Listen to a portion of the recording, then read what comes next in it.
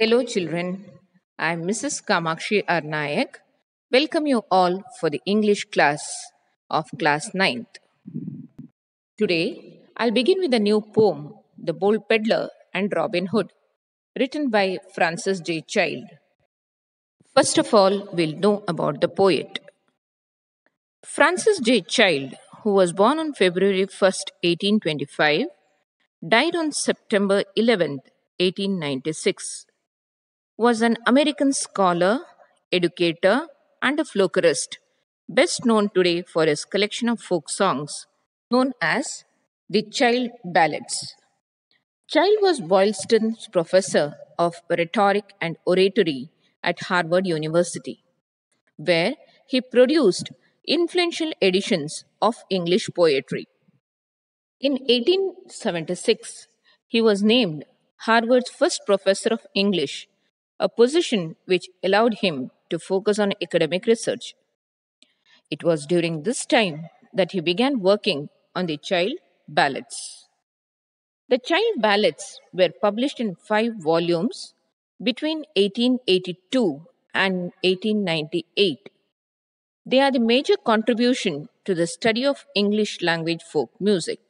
Children, do you know who is Robin Hood and Little John? Robin Hood is a legendary heroic outlaw, originally depicted in the English folklore and subsequently featured in literature and film. According to the legend, he was a highly skilled archer and swordsman. And Little John was his companion who served as his chief lieutenant. Open your text page number 122, children. I'll be reciting the first part of the poem. Please follow it. The Bold Peddler and Robin Hood, written by Francis J. Child. There chanced to be a peddler bold, a peddler bold there chanced to be.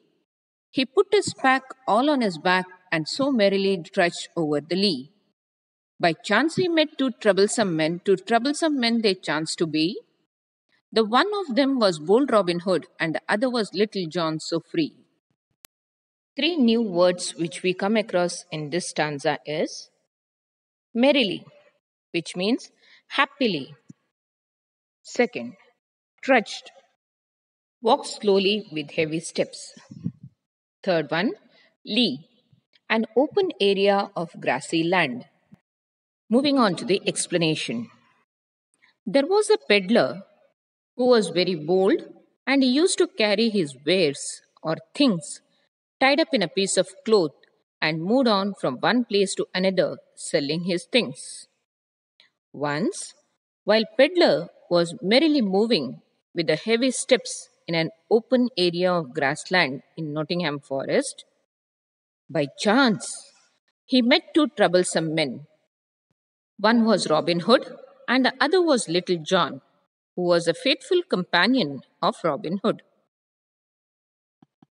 I'll be reciting from line 9 to line 24.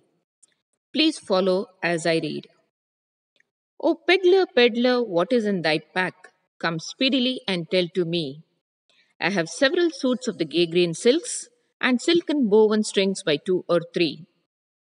If you have several suits of the gay green silk and silken bowen strings two or three, then by my body cries Little John, one half of your pack shall belong to me. Oh nay, oh nay, said the peddler bold. Oh nay, oh nay, that can never be. For there's never a man from fair Nottingham can ask one half my pack from me. Then the peddler he pulled off his pack and put it a little below his knee, saying, If you do move me one perch from this, my pack and all shall gang with thee. New word which we come across here is move one perch means the least of moments or a little bit. Robin Hood and Little John resist Peddler from moving further. And John asks as to what was there in his pack. Here, thy refers to your.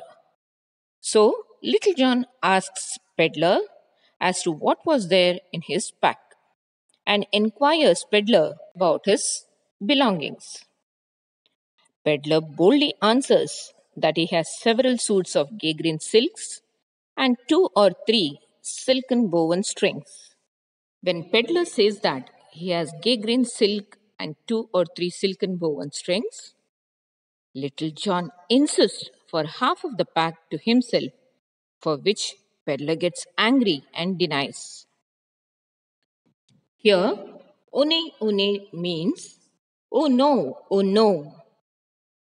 So Peddler completely denies to hand over half of his pack to a stranger and says that there is never a person from fair Nottingham who can snatch or take Peddler's belongings. Then the peddler pulled off his pack and put it below his knee and challenges little John by saying that if he is able to move a little bit of the pack which is kept under his knee, he would gladly hand over his pack entirely to little John.